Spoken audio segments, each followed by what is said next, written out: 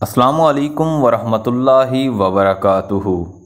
हमारे चैनल के A B services के सुनने और देखने वालों को अहमद नवाज़ की तरफ़ से मोहब्बतों भरा सलाम।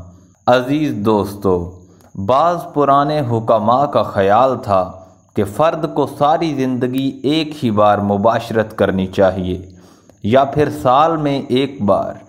साल में एक से ज़्यादा बार मुबाशरत करना अपनी कब्र खोदने के मुतरदफ़ है।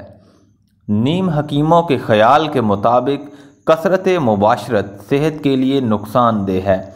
इससे इंसान को तरह तरह की बीमारियाँ लग जाती हैं। यूरोप और अमेरिका के लोग कसरत से मुबाशरत करते हैं, मगर उनकी सेहत हम लोगों से बहुत बेहतर है। रिसर्च से साबित हो चुका है कि कसरत मुबाशरत किसी भी तरह से नुकसानदेह नहीं है।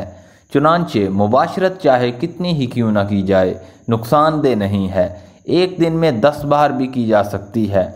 ज़्यादा मुबाशरत करना अमूमी सेहत के लिए बेहतर होता है। कुरान मजीद के मुताबिक मुबाशरत से इंसान को सुकून मिलता है। ज़ाहिर है कि सुकून की ज़्यादती किसी तरह नुकसानदेह हो सकती है।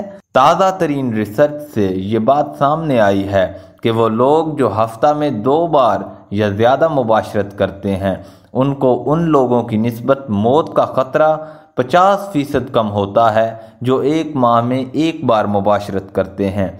इसके अलावा ज़्यादा मुबाशरत की वजह से मर्द दिल के दौरे, मसाने और प्रास्टेट के कैंसर से नस्बता ज़्यादा महफूज रहता है। वैसे भी वो लोग जो जवानी में हफ़्ते में कम अज़ कम दो बार या ज़्यादा बार मुबाशरत करते हैं, यही लोग बढ़ापे में भी मुबाशरत के काबिल होते हैं।